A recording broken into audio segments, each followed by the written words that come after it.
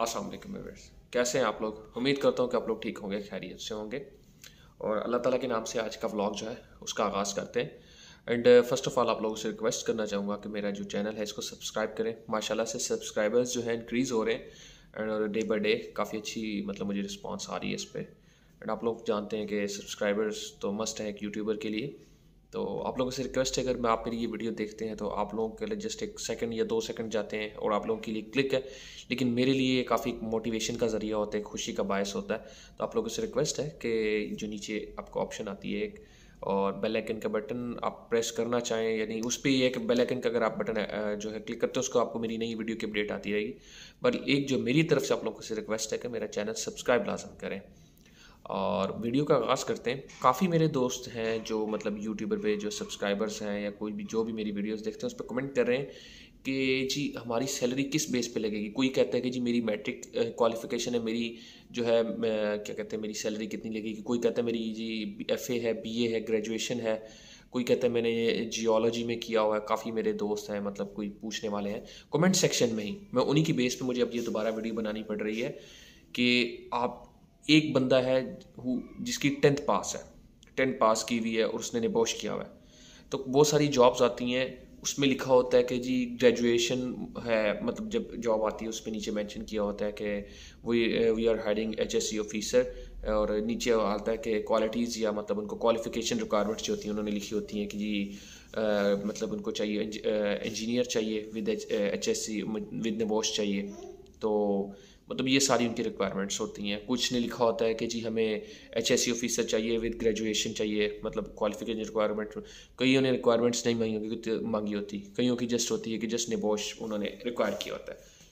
तो ये उनकी मतलब क्वालिफिकेशन रिक्वायरमेंट्स आ जाती हैं। लेकिन अगर आपके पास नबोश है, ये मस्ट है आपकी जॉब होगी। ये चीज़ नहीं है कि आपने मैट्रिक पास है तो आपकी आप ग्रेजुएशन नहीं है। आप अप्लाई करें उस जॉब पे। आप अपने आप को कॉम्पिटेंट शो करें। वो एक चीज़ अलग मैटर है कि उनकी रिक्वायरमेंट है। वो मे बी आपको ई मेल आपको रिस्पॉन्स करें। ठीक है?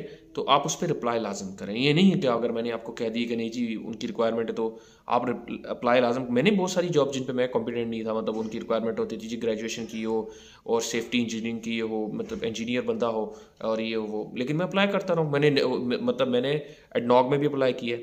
हालाँकि मैं एडनॉग के लिए वो है नहीं है। मैंने H S H S two H two hydrogen sulphide का एक होता है, वो करना पड़ता है ऑयल एंड फ़ील्ड में काम करने के लिए।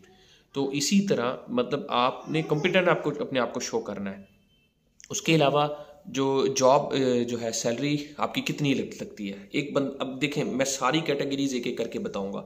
तो ताकि आप लोगों के जो है आ, मतलब आप लोगों की मतलब जो कन्फ्यूज़न है वो दूर हो ताकि आप लोगों को मुझे कमेंट में ना पूछना पड़े। बाकी जो कमेंट में आप अगर चूज़े पूछेंगे उन पर मैं अलग वीडियोस बना दिया करूँगा। अब आ जाते हैं एक बंदा है जिसकी मैट्रिक क्वालिफिकेशन है वॉश किया हुआ है। उसकी सैलरी जो होती है स्टार्टिंग पच्चीस सौ से तीन हज़ार होगी। ठीक है?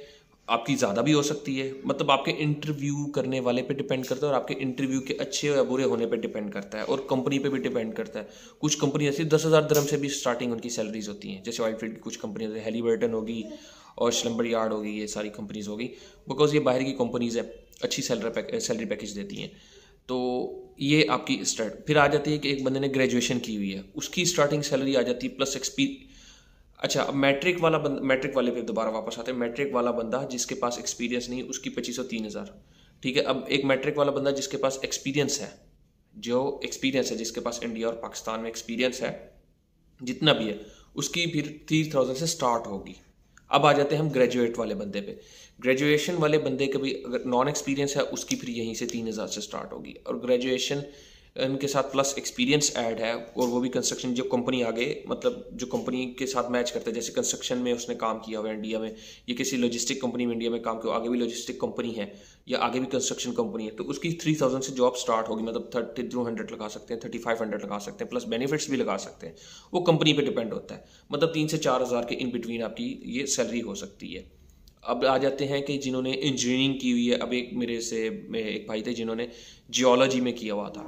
तो निबोस्ट एक इन्वायरमेंटल जो है हेल्थ एंड सेफ्टी का है ये एक इदारा है। तो वो आपके लिए प्लस पॉइंट है। आपने जितनी भी क्वालिफिकेशन है, वो आपका उसमें एक प्लस पॉइंट है कि आपकी सैलरी और ज़्यादा अच्छी लगेगी, उसमें आप ज़्यादा कॉम्पिटेंट हो सकते हैं। तो उसमें आपकी सैलरी आ जाती है पैंतीस सौ चार हज़ार इस ब्रैकेट में आ जाती प्राइस ब्रैकेट में। अच्छा अब आगे आ जाते हैं, एक भाई हैं जिनको मेडिकल फ़ील्ड से रिलेटेड थे और उन्होंने अपनी फ़ील्ड से निबोश में आ रहे हैं। तो वहाँ जो बंदा मेडिकल में है तो वो मेडिकल में सेफ्टी में जाएगा कि जी मेडिकल से मतलब उसको मालूम आता है तो वो मेडिकल में ही सेफ्टी बिकॉज़ वो मेडिकल के मतलब जानता है। मैं कंस्ट्रक्शन का जानता हूँ लॉजिस्टिक्स कंपनी का जानता हूँ, मैं लॉजिस्टिक कंपनी में ही एचएससी की जॉब ढूंढूँगा। कुछ हॉस्पिटल में जॉब कर तो हॉस्पिटल में ही एच एस ऑफिसर की जॉब बिकॉज़ आप अपनी फ़ील्ड में कॉम्पिटेंट है। हर बंद हर फ़ील्ड का बंदा जो है निबोश कर सकता है। इसकी कोई वो रिक्वायरमेंट नहीं है ये एक सर्टिफिकेट है। सर्टिफिकेशन के लिए आपको क्वालिफिकेशन नहीं चाहिए। लेवल थ्री सर्टिफिकेशन है। इसके बाद आ जाता है डिप्लोमा, वो लेवल सिक्स क्वालिफिकेशन है। सर्टिफिकेशन के लिए आपको किसी भी किस्म की क्वालिफिकेशन कोई हर बंदा कर सकता है, आपकी इंग्लिश स्किल्स अच्छे होने चाहिए। ये है, इसके मतलब जो है इन्फॉर्मेशन है। अगर इस, इसमें मजीद अगर मैं कोई आपको इन्फॉर्मेशन एग्जैक्ट नहीं दे पाया या किस तरह तो मुझे कमेंट में बता दीजिएगा मैं आपको लाजम अप्लाई कर दूँगा। लेकिन मेरी कोशिश भी रही है कि आपको कहीं भी कन्फ्यूज़न ना रही हो। तो आप लोगों ने कन्फ्यूज़ नहीं होना अगर आप मेरी वीडियोज़ जो अगर गौर से सुनेंगे, देखेंगे तो आप ये चीज़ समझ सकते हैं कि एक मैट्रिक पास बंदा है मतलब आपकी क्वालिफिकेशन जैसे जैसे अच्छी, जैसे जैसे एक्सपीरियंस आपकी हो जाए। जैसे बंदा पुराना होता है कहते हैं ना कि ओल्ड इज़ गोल्ड कि जितने आप एक्सपीरियंस होते जाएँगे, जितना आप मतलब पुराने, आपकी सैलरी अगली कंपनी में बढ़ती जाएगी। ज़ाहिर सी बात है तो इसी तरह आपने इसमें अपने आप को कॉम्पिटेंट शो करते हैं।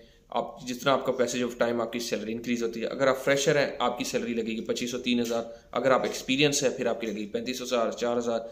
अगर और मोर एक्सपीरियंसड है निबोश के साथ एक्सपीरियंसड है, आपका निबोश पुराना है तो आपकी तकरीबन पाँच हज़ार तक सैलरी लग सकती है पाँच हज़ार से अब भी लग सकती है ये सारे क्राइटेरिया हैं।